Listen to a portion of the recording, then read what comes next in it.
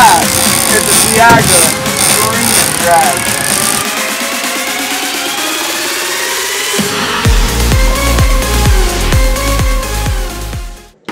Hey guys, and thank you for joining me for this very special episode of Bad Ash Outdoors. This trip that you are about to see is one of the most exciting things I've ever experienced in my life, and it happened about a year ago now, and I finally had the time during quarantine to put it together and show you.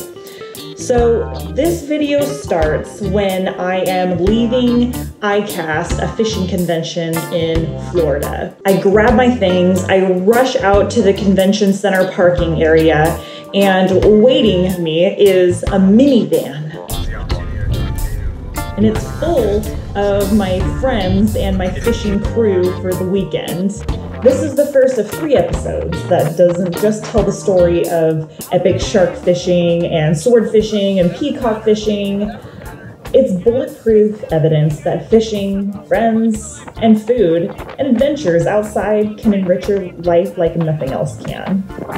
Friendship Wolfpack Racing. We drove a few hours south and ended up at Michael Grant's house. Michael Grant is a new friend to me, and he was going to take us out bass fishing in the canals around his house.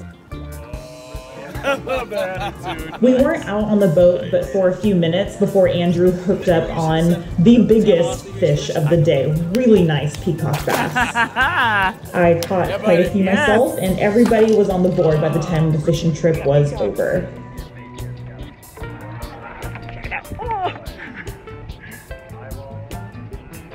The next morning, we headed out for some offshore fishing. Seth wanted to give me a proper introduction to offshore fishing in Florida, and the rest of the crew mentioned that they had already had their initiation. So he tied up a special bait for me, set it up on a spinning rod, and he sent me. Hey Ash, Yeah. hey, what's going on up there? Oh, it hurts. Is Oh, that it a- hurts. Is it a, like a tuna or a I big think it could be. All right. we got trouble. Oh, nuts! Did it break? Oh! That was a 300 pound bull shark. And it's gone. You just went down. You did. I did. How do you feel? How do you feel? Yeah, it hurts really good for one. Oh my Yeah. gosh. For two. Yeah. Thank you. Does it feel like your fallopian tubes are tight enough? Yeah. yeah. That's what I was trying to say. Because mine were the first one I caught. Those things kick your ass, don't? No, I want. I want another. This is boring. Let's do it again. Let's get another shark on the line, please. Ready for more? Don't.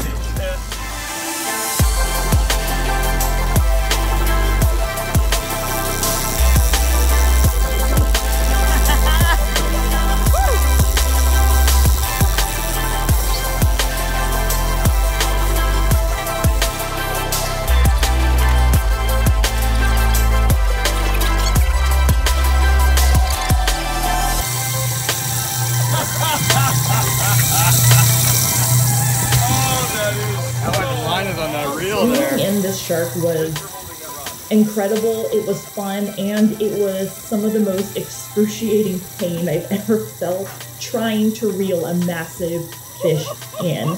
But I knew that because the other guys did it, I could absolutely do it, so there was no way I was giving up.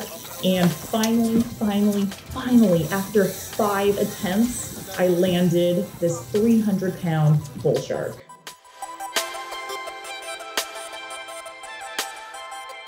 We had our fun. Then Seth and Michael revealed the plan for the rest of the day, which was we were heading out a little bit further and we were going to go for big pelagic fish. We stop at this spot. The captain set out a bait and hang it off of this buoy. And a while later, we notice that the buoy flag has fallen over. We wait a little while and then we hear this. Got a belt, there was a belt out. I go. Hold this, hold this, hold this, hold this, hold this.